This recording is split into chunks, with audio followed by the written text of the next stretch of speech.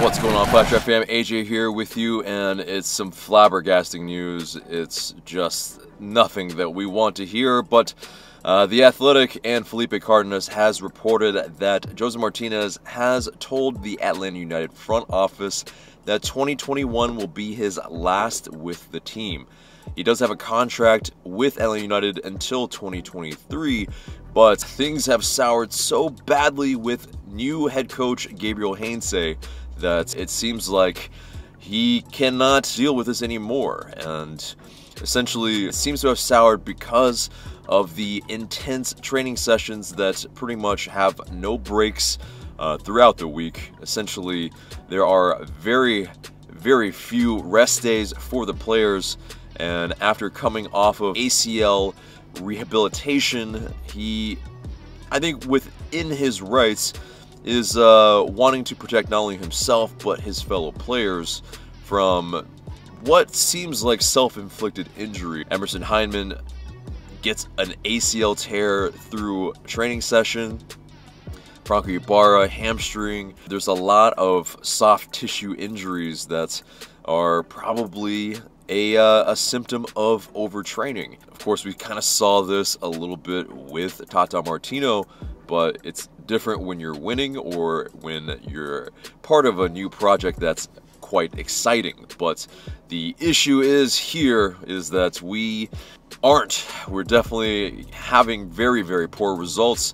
And ergo, Josef Martinez reportedly is saying it's between Heinze or Josef. There were some likes on some tweets that were a little questionable as well. There was a tweet in Spanish that pretty much said to Josef that you should go. The hierarchy in LA United, you have, I'm paraphrasing here, you have a clout here, and basically you can push your weight around. Heinze will be forced to go if you push your weight around.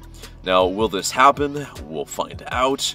But either way, it is a terrible time at the club right now. Lots of turmoil.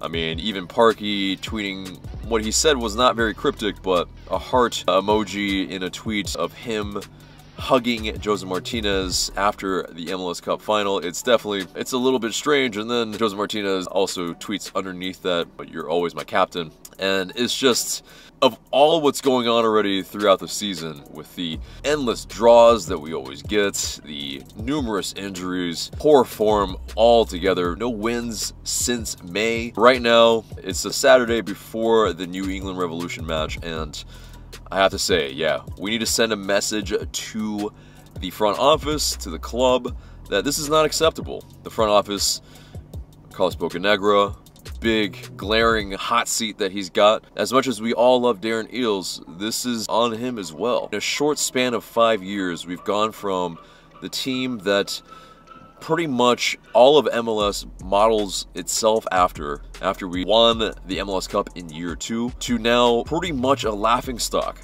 This is horrendous from the people in charge. I mean, Carlos Bocanegra has half a year on his contract. I can't imagine he is going to be considered to continue on, but either way, there needs to be more done to fix up this situation because it is dire and hopefully Heinze and Josef can repair their very icy relationship right now, but guys, let us know what you are thinking in the comments below.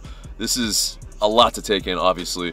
I'm not even scratching the surface on really all of this, but yeah, what do you think of the reports?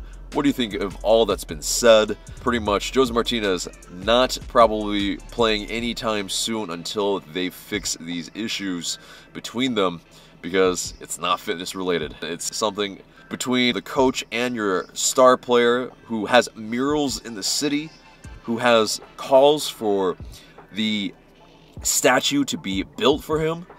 This this is a shambles, guys. But guys, let us know in the comments below. Thank you guys so much for watching. Remember to like, share, comment, subscribe, and I'll see you in the next video.